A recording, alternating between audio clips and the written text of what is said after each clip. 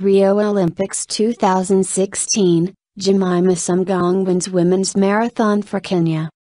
Jemima Sumgong became the first Kenyan woman to win the Olympic marathon, beating Eunice Kirwa of Bahrain. Ethiopia's world champion Mare Dibaba took the bronze medal as her compatriot and race favorite Tigist Tufa pulled out before the halfway mark. London Marathon winner Sumgong, 31, finished in 2 hours 24 minutes 4 seconds to end a run of three straight silvers in the event for Kenya. GB Dixon and Sonia Samuels finished 28th and 30th respectively.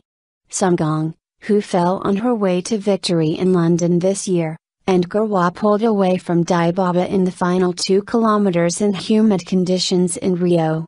Kenya-born Kirwa, who secured Bahrain's first ever Olympic silver and second medal of all time, failed to stay with Sumgong and both women looked physically exhausted after they crossed the line.